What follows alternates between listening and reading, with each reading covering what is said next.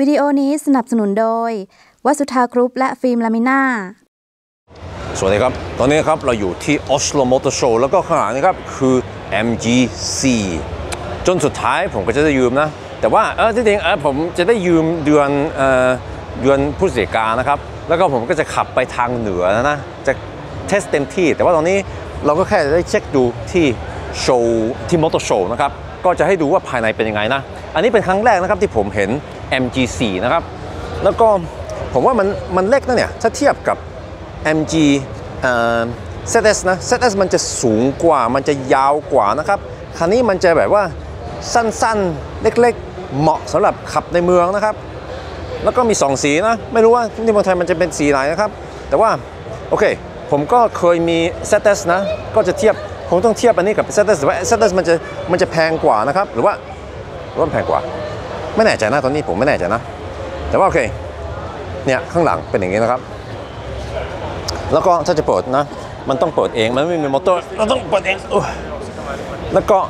ข้างหลังเนี่ยนะครับ มันก็ไม่ได้จะใหญ่มากนะ เดี๋ยวลองเช็คดูนะกับเลเซอร์ มันเป็น 74เซนติเมตรนะครับ เออ70 75โอเค75เซนติเมตรครับ ฝั่งนี้นะครับ เป็น โอ้ทำไมมันแปลกๆ มันลุไม่เป็น 96เซนติเมตรนะครับ ก็ไม่ได้ใหญ่มาก แต่ว่ามันมีฝาถ้าเราเปิดฝานี้ครับ ข้างล่างนี่ก็มีที่อีกนิดหน่อยนะครับ ก็ใส่ของได้แต่ว่ามันไม่ได้ใหญ่มากนะครับ มีที่ไว้ของข้างๆนี้นะครับแล้วก็ฝั่งนี้นะครับเอ่อ12 โวลต์ไม่มีข้างหลังนี่นะครับ โอเค ปิด โอเค เดี๋ยวจะดูว่ามันมีคนหนึ่งนั่งข้างหน้าหรือใช่ มีคนนั่งข้างหน้า เดี๋ยวเราต้องรอหน่อยว่าเราไปอ๋อหานี่แบบเฮ้ย เมื่อกี้มันยังไม่มีคนนะครับ ก็เดี๋ยวลองเราลองลองไปฝั่งนี้นะครับ โอเคเปิดฝั่งนี้นะครับ เนี่ย คนนี้นี่เขาไม่ได้ถ่ายวิดีโอแล้วนะ ภายในข้างหลังนะครับ เบาะนี่ก็เป็นเป็นแบบหนังกับกับเป็นผ้านะครับ แล้วก็มันก็ flat floor นะครับโอเคตรงนี้เขาไปนั่งแล้วนะโอเคช่างมันเราก็ต้องเราต้องถ่ายเรามีโอกาสถ่ายตรงนี้เราก็ต้องถ่ายนี่นะครับโอเคเนี่ยถ้าเราปิดประตูนะ มันแคบนะผม 173เซนติเมตรแล้วก็เนี่ยเอ่อมันเป็นประมาณเรามีเรามีที่ประมาณ 2 นิ้วแค่นั้นอะโหคันนี้นี่แคบกว่า ZS ตั้งเยอะนะผมว่า ZS นี่มันยังใหญ่สบายดีนะ คันนี้นี่รู้สึกแคบ ต้องเปิดผมต้องเปิดประตูหน่อยนะครับ เพราะว่ามันมืดในนี้มันไม่มี sunroof นะครับ มันจะมืดเราต้องเปิดให้แสงเข้ามา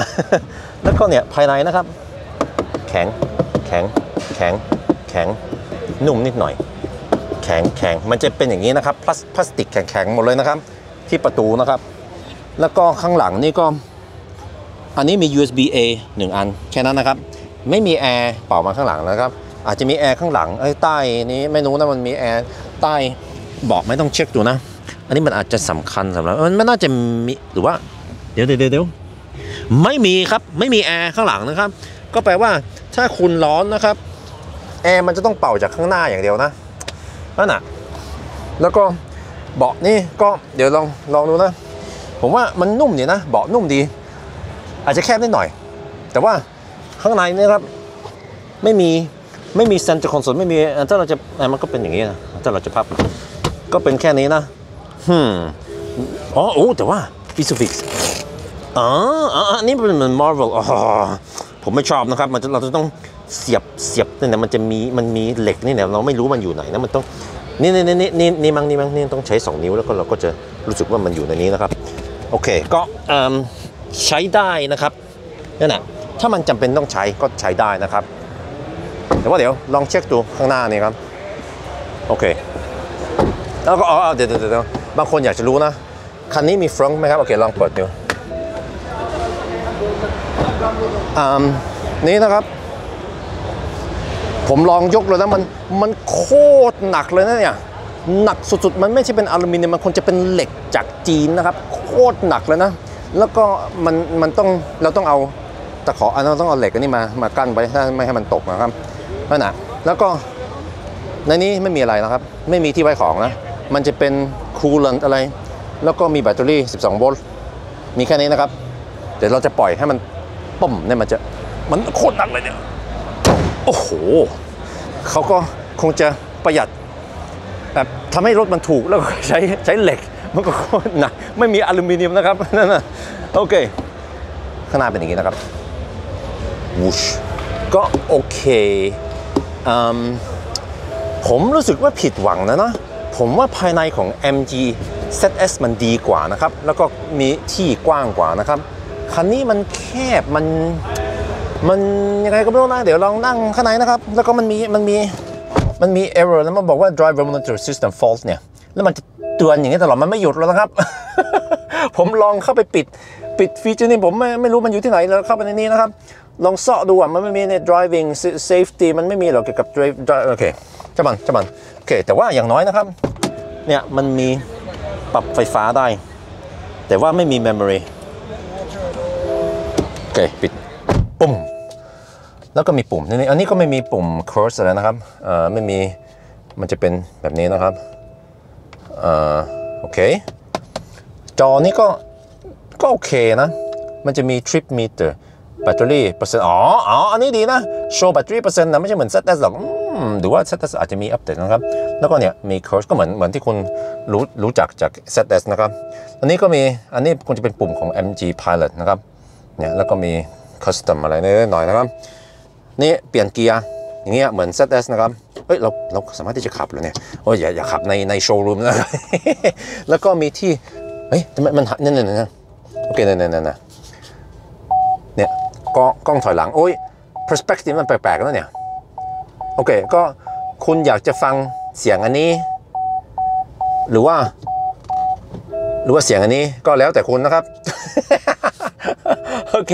แล้วก็อันนี้มันก็จอนี่มันก็มันก็ไม่ได้ไม่ได้ไม่ได้ใหญ่นะ แต่ว่ามันก็เราก็ยังกดกดที่นี่ได้นะครับแล้วก็โอเคเช็คดูที่ไว้มือถือดุช มันจะชาร์จ Wi-Fi wireless charging นะ แต่ว่าผมว่ามันลื่นไปหน่อยนั่นเองถ้าคุณขับเร็วหน่อยนะ ถ้าชอบขับม่วนขับโวยนะ มันอาจจะไหลไหลออกได้ไม่รู้อะ มันน่าจะเป็นแบบแบบยังไงดีอะ น่าจะเป็นเอ่อยังอะไรให้มันไม่กันกันลื่นกันกันลื่นนะครับประมาณนั้นน่ะ แล้วก็โอเค อาจจะผมอาจจะมากเรื่องมั้ง แล้วก็ข้างล่างนี่ครับมี 12 โวลต์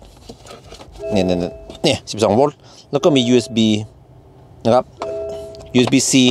เฮ้ย ผมไม่ค่อยเห็นนะอันนั้นเป็น USB C แล้วก็มี อ๋อ มี USB A แล้วก็ USB อ๋อโอเค มีที่ไว้ของนี่แต่ว่าแปลกนะ ที่ไว้แก้วอยู่นี่ เอาถ้าเราเอาขวดหรือว่าอะไรก็ มันก็จะโดนใส่นี่อะนั่นน่ะ แต่ว่าก็ยังมีที่ไว้ของนะ แล้วก็เนี่ยหืมอันนี้ก็มีที่ไว้ของอีก แต่ว่า อันนี้ไว้แว่นตา แต่ว่าไฟภายในนะครับ มันมีแค่นี้อะ มีแค่นี้ ข้างหลังไม่มีนะครับ มืดตึ๊บ เหมือน MG ZS โอเค ก็ตัวนี้คุณก็ได้เห็นแล้วนะ MG4 เดี๋ยวผมจะต้องขับ MG4 เนี่ยไป โอ้หานี่บอกเฮ้ยจะขับ MG4 ไปไปทางเหนือเลย แล้วก็จะหลับในรถ ฮะ เราจะนอนในรถได้อย่างไรมันมันแคบนะเนี่ย เออ โอเค อันนี้มันจะเป็น challenge ขับไป Arctic Circle แล้วก็นอนในรถ แล้วก็จะไม่หนาวตายผมต้องเอา Eco Flow Battery ไปด้วยเผื่อไว้นะครับเออโอเค นั่นคุณว่ายังไง ผมผิดหวังแล้วนะกับ MG4 เนี่ยว่ามันโอเคมันเล็กมันก็จริงมันเล็กใช่เล็กไปหน่อยสำหรับผมนะครับ แต่ว่าสำหรับคุณถ้าคุณไม่ต้องการที่อะไรก็ก็สบายดีนะครับ แต่ว่าผมก็ว่าภายในมันไม่ค่อยมันไม่ค่อยเหมือน Air ZS แต่ว่าโอเคโอเคจะให้ดูนะว่าเบาะนะ โอเคมันก็มี side bolsters มันก็ยังสบายดีแล้วก็นั่งนั่งสบายดีนะในเบาะอันนั้นก็อันนั้นก็ดีนะครับ แต่ว่าผมรู้สึกว่า feature อะไรทุกอย่างนะครับสเปคกับ feature ของ MG4 มันต่ำกว่า ZS อันนี้มีความรู้สึกอย่างนี้นะ ผมก็เคยมี MG ZS EV รุ่นเก่าที่เมืองไทยแล้วก็นั่นก็จำได้ว่ามันเป็นยังไงนะครับ แล้วก็เคย test ที่นอร์เวย์ด้วยนะตอนนี้คุณก็คงรำคาญเสียง ติ้งติ้งติ้งนั่นคุณว่ายังไงคันนี้อะ สนใจไหม MG4 อะ ผมว่า ผมว่ามัน hype hype นะ hype แบบนั่นอะผมยังคิดเลยว่า o r a Good Cut มันอาจจะดีกว่านะ หรือว่า ไม่รู้อะคันอื่นนะออโต้สามยังไม่ได้ลองเลยแต่ว่า ไม่รู้มันเป็นยังไงอะเปรียวเดี๋ยวออโต้สามว่าคันนี้นี่แต่ต้องลองก่อน โอเค ต้องลองก่อน ลองขับลองไปไป 1,000 กิโลเมตรอะไรเต็มที่แล้วก็ค่อยว่ากันอีกทีว่าเป็นยังไง แต่ว่า ตอนนี้นี่ก็ไม่แน่ใจนะว่าแนะนำได้ไหมครับ โอเค แต่ว่าผมก็อยากจะรู้ว่าคุณคิดยังไงกับ MGC อยากได้ไหม หรือว่าเปล่าเปล่าโอเค คงจะเป็นแค่นี้นะครับ ขอบคุณที่คุณดูวิดีโอนะ แล้วก็เอากลับไปกันไหมสวัสดีครับ